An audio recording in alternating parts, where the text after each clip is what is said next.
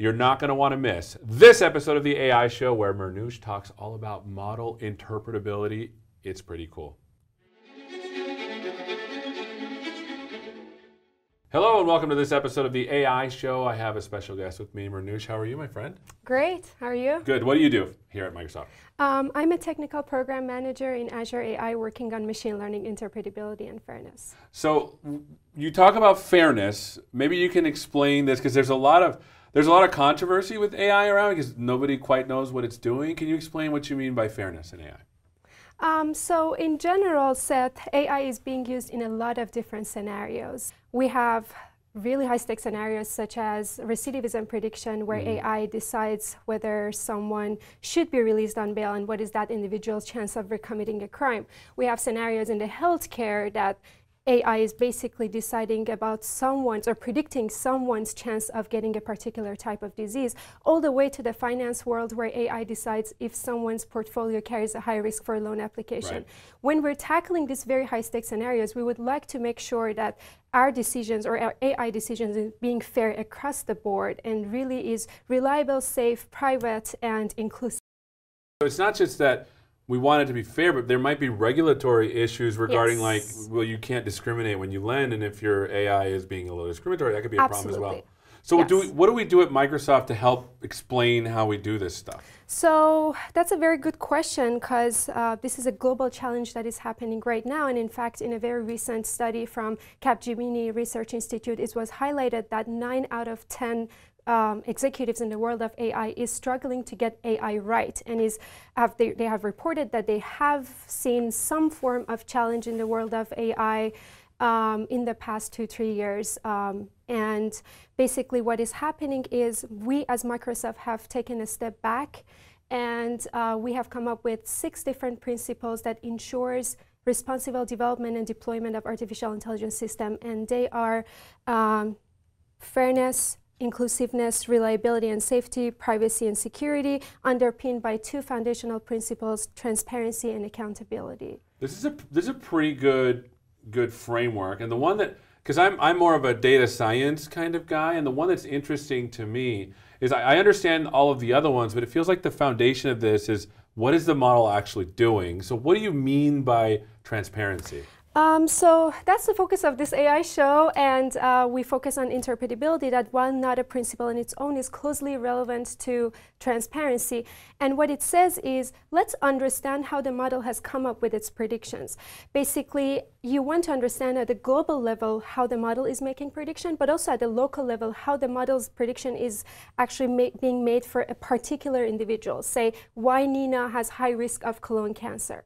I see. So it's not just a overall what's the model doing, no, but when you predict, why did it do what it did? Exactly, and it's important at two different stages. It's important at training time for model evaluators and model designers because they need tools to sell their models to non-technical stakeholders to build trust, but also they need this in order to debug their model and understand how their model has really come up with the predictions and improve the model.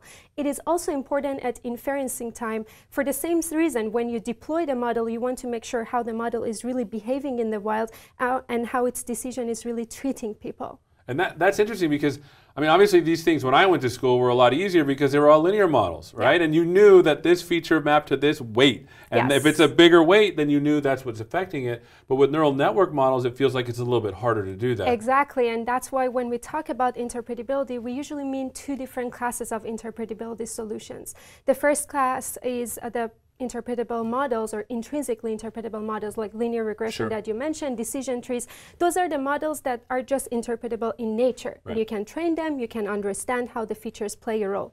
The challenge with them is they're usually not generalizable to all scenarios. They right. have their shortcomings because of the assumptions that they make. Now, we do have this second class of interpretability solutions that we call black box explainers. And the way that we uh, explain them is basically they can explain any model, no matter what your model is, is underneath. It can be a neural network, it can be a SVM, it can be a random forest, it mm -hmm. can be either traditional classifiers or state-of-the-art neural network classifiers or regressors. And basically the way that they do the job job is they use bunch of approximations based on which method you're using to come up with how this model is making a prediction. And it's super useful because you have a lot more flexibility. You can use these very strong classifiers or regressor at the training time, and then you can use these explainers to explain how that model has made its predictions. So I'm having a hard time visualizing this because like to me, like when I look at like a let's just say you're using a logistic regression, the weights are very clear and you can yeah. map it and you know, and then maybe you can even like give it something without even knowing, you know exactly what it's going to predict, yeah. right? Because of the weight. But when it comes to like let's just say you're using a convolutional neural network to predict what's in an image, right? How how does the black box one actually work? Are you just giving it data and then figuring out what it's doing? Uh, yeah, um, there are multiple different techniques, uh, either from Microsoft Research or state-of-the-art third-party libraries that are out there.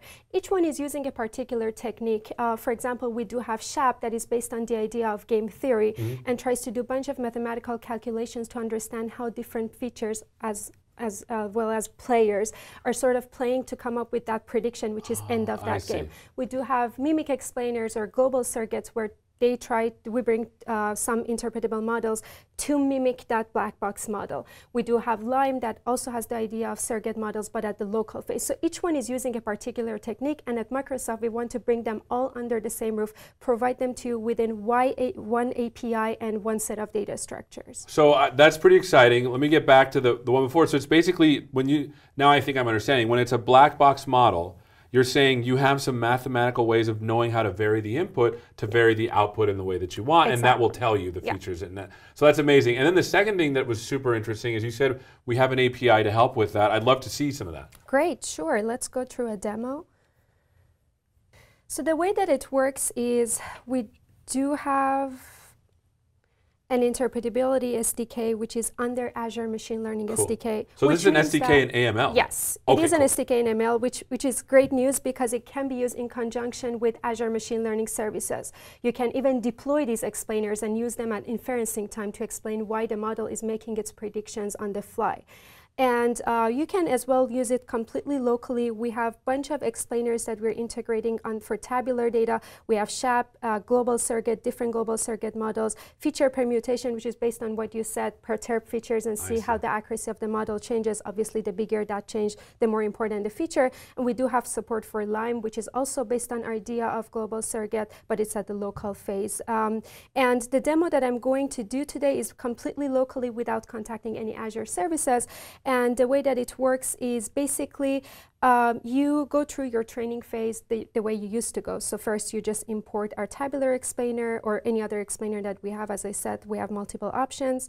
Then you get your data set. Now this data set is about uh, IBM employee attrition, cool. which is a binary classification that decides whether someone would leave the company or would stay with the company. You get the data, you clean it up, maybe get rid of some of the columns. Uh, you, you split it into test and train the, the way that you so used to do it. Standard stuff completely standard stuff. Right. You do the transformations on your numeric and categorical features, and then your pipeline for training becomes those transformations and then your classifier. We support any classifier from the world of, or, or regressor from the world of traditional machine learning all the way to uh, more advanced algorithms like, uh, or deep uh, neural net frameworks like PyTorch, Keras with, Py, uh, Keras with TensorFlow backend, and also TensorFlow models. As far as the explainer is concerned, it's just another function it's testing. Exactly. Cool. So you fit your model. So far, nothing about interpretability. That's where we come into the scenario. You can use the import that you did on top, uh, pass the model to it, pass the background data or the initialization set. And these are some uh, extra features uh, that you can add, uh, like the feature names, uh, the name of the classes rather than seeing class 0 and 1. And if you pass the transformations, our SDK is able to reverse the transformation and provide to you the explanation in terms of raw features rather oh, than engineered features, cool. which is exciting. Uh, otherwise, it defeats the purpose of really understanding what's happening. This little call explains, creates an explainer object where that you can use to call explain global and explain local. So when you explain global, it means that globally what are the important factors for that machine learning model. And uh, you can print them, look at them. For example, it says over time, number of companies person previously have worked are the top two important features. Or you can see it across different classes. We here we have class staying and leaving. You can see what are the top important features across these two classes. You can also pass a particular data point to the explain local function. For example, you want to explain me or someone else Right. who works at that company, uh, and a range of data points. And you can uh, similarly see what are the top key important factors for that particular person. And this is really interesting, right? Because there may be a scenario where, let's just say, your model is not very kind Yeah. to a certain class of people, which would make it effectively racist, which is not good. Yeah. You might have a scenario where the model passes on the global, Yeah. but then as it gets examples that it hasn't seen, Yeah. perhaps at inference time, it's starting. You're starting to recognize Absolutely. there's a huge data drift that just happened from our mm, training to our inference, and now we need to fix that. Absolutely, and I want to uh, I want you to note that we also obviously have the model accuracy metrics, and they're super useful uh, to understand how the model is making its prediction. But the challenge is. I always the famous example that pops into my head is um, a neural network that wanted to differentiate between the images of wolves versus huskies. The way that it used to do it was basically looking at the background. If it was snow, it was saying wolf. If it was grass, it was saying husky. Now, Obviously, we do have a problematic pattern that the uh, AI has learned, and it can be generalized to other models. But the challenge was the accuracy was really good because the test set also happened to have uh, wolves with the Right. background of snow and huskies with the background of grass. So we could completely lose this very problematic challenge uh, or pattern when we were looking at the accuracy. But transparency can come to help you to understand. Okay, is the model really making predictions based on the mm, factors that make sense, or is just some random patterns that it has learned? That's cool. That's really cool. So um, we have added a visualization dashboard uh, that will allow you to understand um, this explanations and also in general your model better. Uh, right off the bat, when you run this visualization, you see four different tabs that are supposed to help you understand some global insights about your model. The first tab is data exploration that will help you to pick any feature on the x-axis, any feature on the y-axis. And for example, in this case, we have the predictions on the color wheel. The blue points have been predicted to stay. The uh, orange points have been predicted to leave the company. That's Now, cool. the next tab is where the explanations comes into scenario. We have global importance, which shows what are the top key important features. So basically, the information you saw from the function calls But now visualized. visualized. And you can play with how many of them you would like to see. This says over time and number of companies and job satisfaction are the top three factors that um, sort of contribute to someone would leave or stay with the company. And let me, now, run, let me run this by you because I, I mean this is so such good. So if I'm seeing like in this bar chart right here, I'm seeing one bar that's super big and all the ones are super tiny. You might be leaking the answer in one of your features, basically, and that would be one way of looking at these things. Would that be a good way of thinking about it?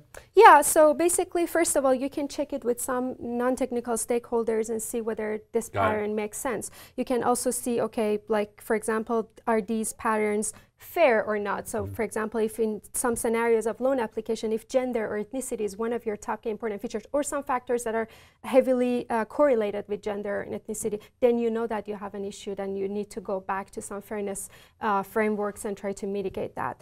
But the challenge with this chart is this is unsigned, so you can see in what direction, for example, over time helping. Um, so that's why we have added summary importance, which basically has signed local feature importance values across all data points to show the distribution of impact that each feature has on prediction value. Uh, as you can see, we have the same uh, setup of features. The h- high values of each feature is shown with red, the low values are shown in blue. So for example, in this case, you can see that the high values of overtime is contributing negatively toward the prediction of staying, which is intuitive. Like if you really, if the person is really working overtime, then they probably are going to be predicted to uh, leave the company. Or high values of job satisfaction is contributed positively to the uh, prediction of staying. So if you're happy with your job, the model says that okay, most probably you're going to stay with the company based on the training data it has received. So let me see if I understand this chart. So basically, red means high values, Yep. and negative means impacting negatively for the for the staying, class for the class. Correct. And then blue means low values. Yep. Okay. Okay. So if I'm reading this right, that means that high values of the overtime impact negatively on people staying, Exactly. which makes sense. Yes. Yeah. Yes. Okay. Um, and we also have this explanation exploration um, that let's disregard, that let's ignore the color for a, for a second, demonstrates how a feature is responsible for making a change in model prediction values. So let's just focus on our first uh, observation. Ignore the color. We would like to see how the effect of number of companies worked on the probability of staying with the company changes with different values of number of companies worked. So on the y-axis, we have the feature values for number of companies worked. On the x-axis, we have the importance of um, the factor number of companies worked on, on the class staying. And as you can see, as people worked on more companies, so we're working towards the higher points of this uh, number of companies worked feature, the feature values becomes negative toward the class staying. So that's sort of reinforcing the uh, insight that we saw in summary importance of how these different values of this feature is contributing to the prediction of staying versus um, leaving. Now, let's bring the color into the scenario. The color is job satisfaction. Red values are high job satisfaction, and uh, blue values are low job satisfaction. So as you can see, let's focus on the last row uh, which, is, uh, which are people who have switched the most number of companies in this data set, nine. As you can see, the red points, for them, the feature importance value is closer to the magnitude zero, and for blue or purple, uh, the feature importance magnitude is further from zero. So now what is is saying? It says that number of companies has less impact on the probability of staying for people with higher job satisfaction and more impact on probability of staying for people with lower or just mediocre job satisfaction. So you can sort of see how these two features interact in a way. And this is really cool because, I mean, is this visualization available for all the models? Yes. This is pretty cool because I, one of the problems that I have is, and I, I hate this, and I hate this if you do this, FYI I remember going to a pretty smart place and they were showing me this neural network and they're like, we don't even know what it's doing on the inside. Yeah. And to me, that's super frustrating. Yeah. Like it's almost like you you had something like make a function out yeah. of random whole cloth and you're yeah. okay with what it's doing, that's a problem, right? I totally hear you. And the great thing about this is basically you can pass any, as I said, PyTorch, a model trained with PyTorch, TensorFlow, and Keras with TensorFlow backend, as long as your model has .predict, .predict proba functions um, implemented that is conforming to scikit convention. Or you can pass another function that the output is conforming to scikit convention of uh, predict or predict proba, we can support that and we can explain that for you. So pretty much anything. Yes. And if it's completely random, you just make another function that takes your anything and makes it look like scikit-learn will work. Exactly. And the cool part about this is now I just gave you some uh, visuals about basically overall how the model is predicting. Um, you can click on any particular data point and that populates another window with local explanations. So basically I clicked on this person. This person was an orange point, so yes, the prediction was leaving. Here you can see a confirmation of that. That person has been predicted to leave the company with probability 81%. Now you can see what are the top K important factors factors that contributes to that particular prediction.